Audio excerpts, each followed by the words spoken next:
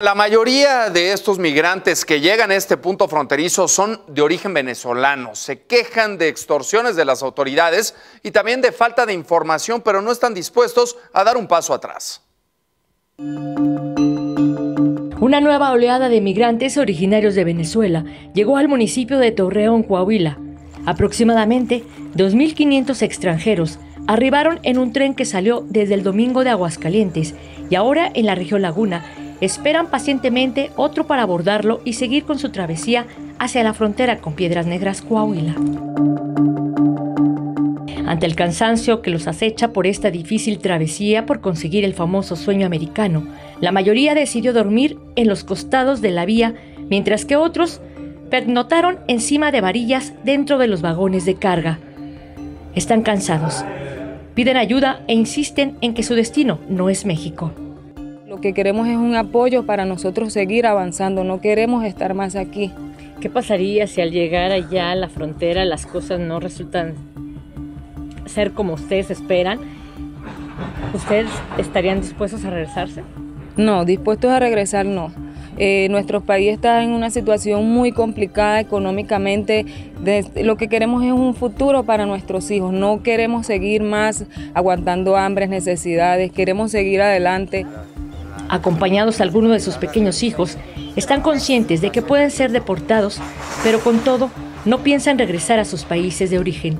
Que nos han puesto muchas trabas para avanzar, ¿me entiendes? Los trenes se acumulan de gente, no por la masiva de personas, sino que entre más retraso, más cantidad de personas acumulan. Si ellos liberaran trenes o nos dijeran información, nosotros pudiéramos avanzar con más facilidad y no se acumulara tantas personas. Que la inmigración dé informaciones veradas y confiables, ¿me entiendes? Que nos pueda ayudar a avanzar. Con lágrimas en los ojos, Yelitza Hernández pide que los dejen avanzar en autobuses. Tenemos esperanza de poder llegar antes del tiempo, pues dicen que hasta el 28 para poder entrar con los niños. Queremos, aunque nos den avanzar, aunque, aunque sea en autobuses, no quitan la plata, inmigración no baja, le quita la plata. Si no nos dejan en medio de camino, nos deciden para que uno camine. El cansancio y la angustia de los adultos es ilusión para pequeños como Blimar, de 7 años de edad, quien acompaña a sus padres con la ilusión de conocer la nieve. Que vamos allá a Estados Unidos, que vamos a pasar por la selva, que vamos a caminar mucho. ¿Ha sido cansado para ti? Sí. ¿Qué ha sido la parte más cansada? ¿Cruzar la selva? Sí. ¿Qué, qué te pareció la selva? Más o menos. Más o menos. ¿Ahorita cómo te sientes? ¿Ya cansada? No, un poquito. Un poquito. Sí. ¿Pero ya quieres llegar? Sí, ya quiero llegar. ¿Qué esperas o cómo te imaginas Estados Unidos? Bonito con edificios. ¿Edificios? Sí.